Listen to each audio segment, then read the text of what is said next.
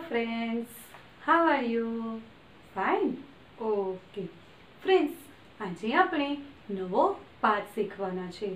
તે પહેલાં હું તમને કેટલાક પ્રશ્ન પૂછું છું. તો તમારે મને તેનો જવાબ આપવાનો છે. ફ્રેન્ડ્સ આ જે સાધન છે, એ સાધન કોણ વાપરે છે? કોણ કહેશે મને? બોલો. બોલો બોલો. હા, બરાબર છે. આ જે સાધન છે કાતર અને સોય દોરો. તો તે દરજી વાપરે છે. ત્યારબાદ ફ્રેન્ડ્સ આ જે સાધન છે તે કોણ વાપરે છે? કોણ કહેશે મને? બોલો. હા, આ એક અસ્ત્રી છે અને અસ્ત્રી એ ધોબી વાપરે છે. ત્યારબાદ ફ્રેન્ડ્સ આ જે સાધનો છે કાંસકી અને કાતર તો તે કોણ વાપરે છે? કોણ કહેશે એનો કોણ ઉપયોગ કરે છે? બોલો. હા, બરાબર છે. આ બે સાધનો એ વાળંદ વાપરે છે. તો ફ્રેન્ડ્સ, આ બધા સાધનો જે વાપરે છે, એ બધાને શું કહેવાય છે? કોણ કહેશે હા, એ બધાને વ્યવસાયકારો કહેવાય છે.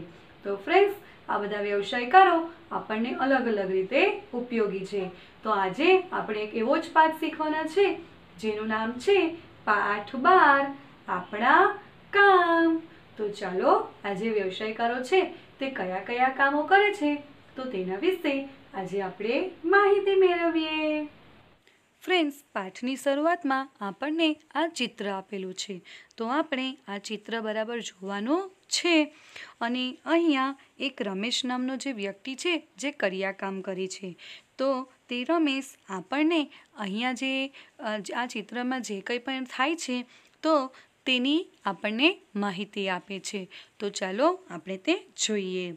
રમેશ કહે છે કે હું દરરોજની જેમ સવારનો નાસ્તો કર્યા પછી ચાની દુકાને પહોંચ્યો.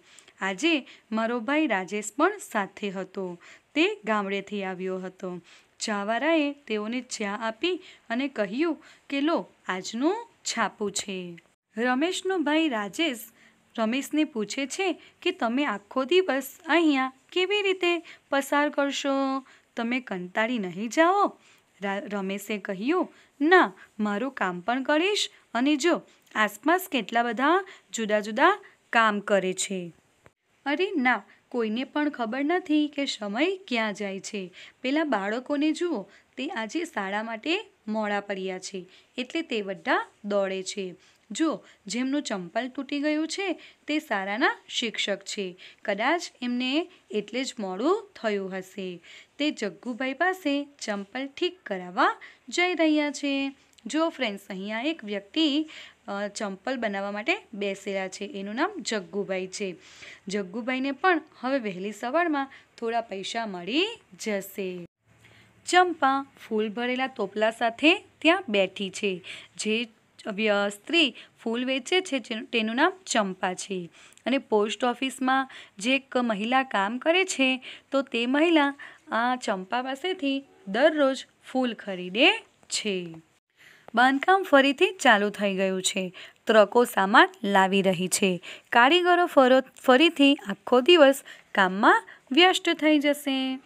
ત્યાં જુઓ ડૉક્ટર અને નર્સ એકસાથે દવાખાનામાં જઈ રહ્યા છે. જુઓ, રાયજી તેના ફળોની લાડી સાથે છે. ફ્રેન્ડ્સ, જે ફળ વેચે છે એનું નામ રાયજી છે. આ દિવસોમાં તે પોતાની સાથે મમતાને લાવે છે. મમતા ફળો આપવા અને પૈસા ઉઘરાવવા આજુબાજુ દોડે છે. નાનું વાળંદે તેની દુકાન ખોલી દીધી છે. પણ તે કોની દાઢી બનાવશે? ચાર રસ્તાની વચ્ચે ઇકબાલસિંહ ઊભા છે. આખો દિવસ તેઓ તેમની વિશલ વગાડે અને બૂમો પાડે છે. તમારું વાહન અહીંથી ખસેડો. એ એ ઓય, તમે મને સાંભળ્યું નહીં? ગાડું દૂર લઈ લો. આમ કહી રમેશ પોતાનો ખાલી કપ મૂકીને નજીકની દુકાન તરફ ગયો. આમ, મિત્રો, આ ચિત્રમાં આપણને લોકો શું કામ કરી રહ્યા છે તે રમેશે આપણને કહ્યું. સૌથી પહેલાં આપણે આપણી આસપાસ જે જુદા જુદા કામ કરતા વ્યવસાયકારો જોવા મળે છે, તો તે પહેલાં જોઈએ. જેમ કે ડૉક્ટર, પોલીસ, શિક્ષક, ટપાલી, સફાઈ કામદાર, traffic police, nurse, mechanic, plumber, ચિત્રકાર, વિમાન પરિચારિકા, ડ્રાઈવર, ઇલેક્ટ્રિશિયન, સૈનિક કુંભાર, લુહાર, માળી, દરજી, મોચી, સોની વગેરે વ્યવસાયકારો આપણી આસપાસ જોવા મળે છે.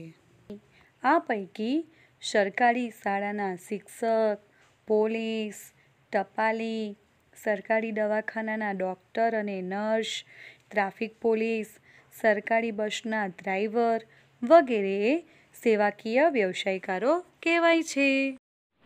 ફ્રેન્ડ્સ આ જે સેવાકીય વ્યવસાયકારો હોય છે, તો તેઓ પોતાની સેવાના બદલામાં લોકો પાસેથી નહીં, પરંતુ સરકાર પાસેથી વેતન મેળવે છે. અને આ બધા વ્યવસાયકારો આપણી જુદી જુદી ઉપયોગી પૂરી કરવામાં આપણને મદદ કરે છે. અને આ બધા જ વ્યવસાયકારો બધાને મદદ કરતા હોવાથી તેઓને સૌના મદદગાર પણ કહેવામાં આવે છે. બાળ મિત્રો, આપણી આસપાસ રહેતા લોકો એ આપણને ઘણી બધી રીતે ઉપયોગી છે.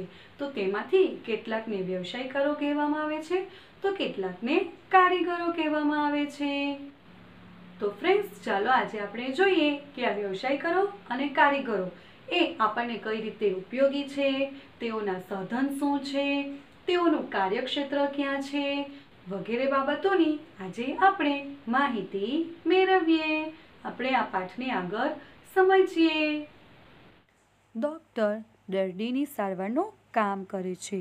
સ્ટેટોસ્કોપ, ઇન્જેક્શન વાઢકાપ કરવાના સાધનો એ ડૉક્ટરના મુખ્ય સાધનો છે અને ડૉક્ટરનું કાર્યક્ષેત્ર એ તેમનું દવાખાનું છે. ત્યારબાદ ફ્રેન્ડ્સ, પોલીસ. પોલીસ એ દેશમાં કાયદો અને વ્યવસ્થા જાળવવાનું કામ કરે છે. પોલીસ એ ગુનેગારને પકડે છે અને કોઈ મને કહેશે કે આ પોલીસના સાધનો કયા હોય છે? કોણ કહેશે મને? હા, પોલીસ હાથકડી અને પિસ્તોલનો પોતાના સાધન તરીકે ઉપયોગ કરે છે. અને આ પોલીસનું કાર્યક્ષેત્ર એ કયું હશે? કોણ કહેશે બોલો?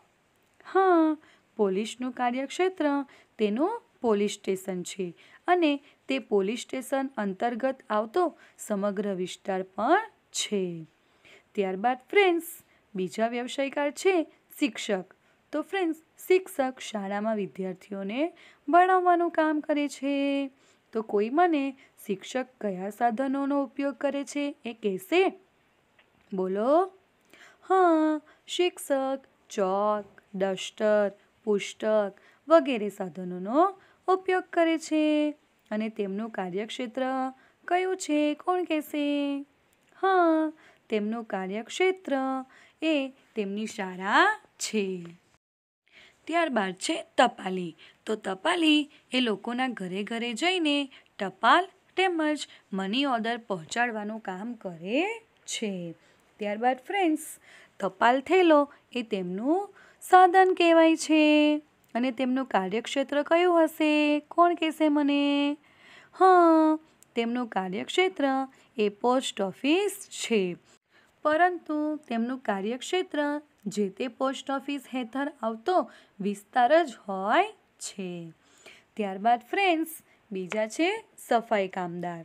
તો સફાઈ કામદાર એ સફાઈનું કાર્ય કરે છે. અને તેમનું મુખ્ય સાધન એ ઝાડુ હોય છે.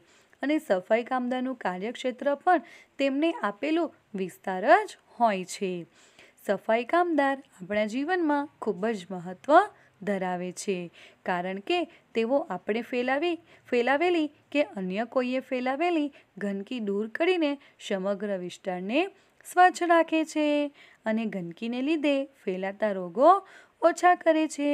જો સફાઈ કામદારો યોગ્ય રીતે સફાઈ ન કરે, તો બધે ગંદકી ફેલાઈ જાય અને રોગચાળો વધે. માટે આ કામદારો સ્વચ્છતા જાળવવાનું કામ કરે છે અને તે સમગ્ર સમાજ માટે ખૂબ જ મહત્વનું છે. ફ્રેન્ડ્સ આ સાથે આપણો આ પાઠ બાર એ અહીંયા અધૂરો રહી જાય છે. જે હવે આપણે નેક્સ્ટ વિડીયોમાં શીખીશું. Okay bye bye take care